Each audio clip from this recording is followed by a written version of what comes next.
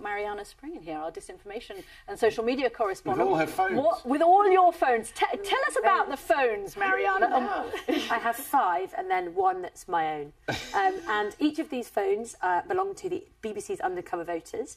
Um, they are five characters I've created based on data from the Pew Research Centre.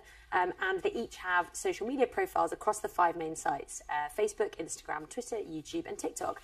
And I've used them to uh, see what US voters are recommended, targeted with in the build up to the midterms and today, tonight, um, as all the votes start coming in. Okay, I know you're going to bring us information on that and what they're being bombarded with, but I want to talk to you about the information that's coming through about these voting machines in Maricopa County, Phoenix, Arizona. Crucially important. It's the big suburban area. It's where all the voters are in Arizona.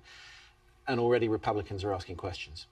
Absolutely, and actually, it links to our undercover voters because this is the kind of stuff they've been seeing on their feeds today. When when the news first started coming out that some of the machines didn't seem to be working, um, people like uh, Brittany. Brittany is our populist right voter. She really likes Donald Trump, um, and she's followed a lot of content in support of him. She's been getting posts like this one, posts that are suggesting that actually the hold that hold up it to the Marianna, camera. Let's so see. that we can Yeah. see see that. So that's There you go, saying something true, which is allegations that machines aren't working, perhaps they're not working. But the important bit is you've then got campaigns asking for money, asking for money to help expose fraudulent elections. Um, and what's crucial is that, that, that there's something true here. And what's true is that people are saying, oh, look, these machines aren't working. That's fine. That's not the disinformation. The disinformation is how that is then used online to fuel existing narratives that have been spreading on social media the- since the 2020 we election. I mean, we had that with Mark Finchem. He was effectively saying something's going on here Well, that is point I was suggesting making. it's It- nefarious. It's an open question. I'm not pointing the finger. I'm just asking the question whether something nefarious is underway.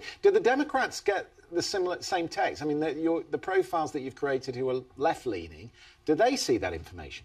It's really interesting because when it comes to uh, Democratic mainstay Michael and progressive left Emma, who are two left-leaning characters, um, they haven't She been. dreams about these people. She knows them She's too well. becoming these people. yeah, yeah, yeah. Um, they haven't been exposed to disinformation and hate in quite the same way. Um, actually, a lot of their social media feeds today have been focusing on um, how worried they are that this could threaten democracy and undermine democracy.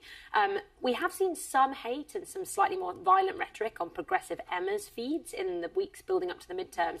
But again, if we compare it to um, populist right Britney's feeds, even today, and you were talking there about threats to um, people, you know, who are trying to protect election integrity, um, there are lots of threatening posts targeting politicians and those involved in the elections that are really quite explicit in some of the imagery they're showing. And, and all of the social media companies um, have made commitments to tackling disinformation and hate in the build up to the midterms. But when you look at these feeds, there are examples that suggest there's stuff getting through the cracks. And like you say, sometimes the disinformation isn't always so stark. Sometimes it's someone saying, oh, maybe there's something more to this. And then a lot of other accounts will roll with it, and you end up with this snowball. effect. Marianna, I remember in the 2016 election, we spent a lot of time covering uh, Russian-sponsored or Russian-financed disinformation that was being put into the Americans into the American electoral process.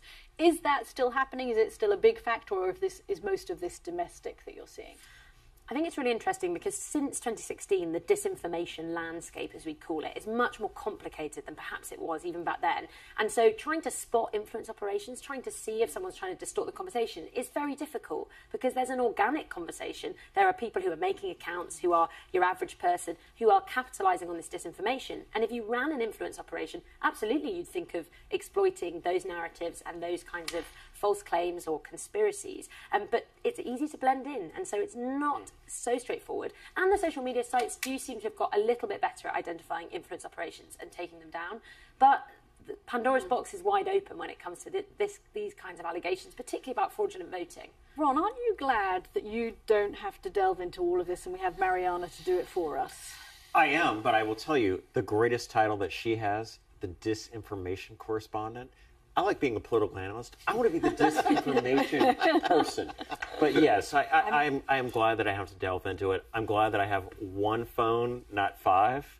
That's why we have you, my friend. And I'm glad I investigate disinformation and spread it, which sometimes that title sounds like. Marianna, thank you for keeping us in touch. We want to know what they're all, all of your multiple personalities, what they're going through during the course of the evening. So